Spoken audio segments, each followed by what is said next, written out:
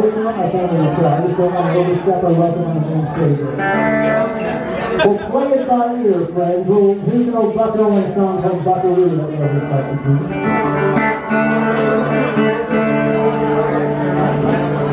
The Buck Owens theme song, uh, not written by Buck Owens, obviously. Buckaroo, friends, come out and in Gun Street, if you know this one.